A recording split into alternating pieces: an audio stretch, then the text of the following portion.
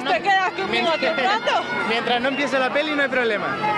Bueno, Yadel, estamos en un estreno un tanto peculiar para una película muy especial. Venimos de funeral a Carmina Yamen. Sí, yo estoy poco de funeral hoy, pero yo es que los funerales los vivo así.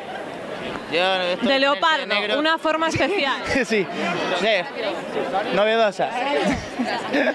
De Canarias tenía que ser. Claro, claro, es que allí se hace así. Esto es cultura canaria. Bueno, ¿qué esperas encontrar en Carmina Yamen? Hombre, yo espero un peliculón, porque además sé que lo voy a encontrar. Eh, la primera me encantó, que también estuve en el, en el estreno. ¿Sí? Y, y espero de esta pues lo mismo o más. De hecho, lo poco que he visto así de adelanto y tal, ya me quedé flipando. De hecho, hablé con Paco y le dije, la vas a liar parda, porque es que tiene una pinta terrible. Y solo hay que ver lo que hay aquí montado. Sí, sí, y además el- la gente con el rollo este de venir de luto, me dieron una postalcita aquí súper graciosa. Un santo. es muy grande todo esto, es muy grande. Bueno, y- aquí. Y Yadel como cantante, ¿cuándo nos va a volver a hacer bailar? Pues bueno, les hago bailar, más que hacerlos bailar, les voy a hacer sentir. ¡Ah! ¿Nos vas a hacer soñar con tu música? Sí, yo soy romántico en el fondo. Ay. Entonces voy a ir por mi línea y salgo con un tema el 1 de junio, que es el día de mi cumpleaños. Menuda celebración, ¿no? Me lo monto así. Tú eres como yo, nací en Reyes, para que siempre sea fiesta. Hostia, qué putada. Eso, eso es peor. Porque claro, yo estoy en la mitad del año, yo recibo, primero de año recibo regalos, mediados y al final. Bueno, me lo monto bien. No, porque te cogen y te dicen, no, estos son los de tu cumpleaños y los... bueno, y nada, eso. Saco el single ahora el 1 de junio. Todo preparadito. Tengo un vídeo que vienen actores que son de la tele conocidos. Adam Hesierski, que está en el culo al aire y tal. Y Nazarea Arasil, que es otra chica que trabaja muy bien.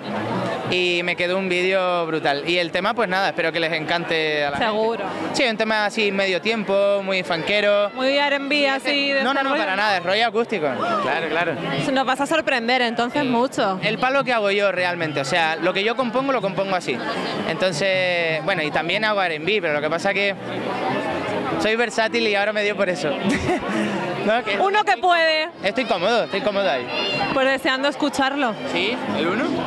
Pues nada. Más te vale, ya me contarás. Sí, sí, espero que vengas a vernos y nos cuentes todo. Sí, me avisa. Que te des un paseo por nuestra quinta avenida. Siempre. ¿Sí? Yo siempre estoy a la orden. Perfecto. Muchísimas gracias, Yadel. Gracias a ustedes. Venga, con medio nuevo estamos. Ay, madre mía, venga.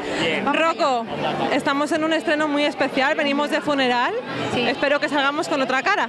Hombre, yo la verdad es que intento estar contenta siempre porque si no, no, la vida no funciona. Pero bueno, es verdad que estamos ahora mismo de luto. Espero que se resuelva el asunto. ¿Qué esperas de esta gran familia? De esta gran familia se puede esperar cualquier cosa. Yo estoy deseando de ver la película y deseando de darle un besazo a Paco porque son maravillosos todos, la verdad. Bueno, Rocco, estás grabando con una pila de profesionales que yo estoy deseando escucharte. Yo también estoy deseando de enseñaros el disco que, que ya está casi casi a puntito de salir. Eh, la verdad es que ha sido un proceso maravilloso, muy muy bonito y muy creativo también. Así Un adelanto, una pista. una pista, funky, swing, motown, ¡uh! mucha caña, mucha caña. Éxito total. Espero que sí. Pues esperamos que cuando lo presentes te des un paseíto por nuestra quinta avenida. Por favor, por Lo supuesto que sí, no lo dudéis. Muchas gracias, Rocco. A vosotros. Segundo La Rosa, Sí. un estreno muy especial con un formato muy especial. Estamos en un funeral, pero diferente. en un funeral diferente porque no se puede destripar de qué va la película, pero bueno, ya lo de Amén ya dice mucho, pero no, no, venimos a disfrutar y a pasarlo muy bien. ¿Qué vamos a encontrar de esta gran familia? Yo creo que un exitazo.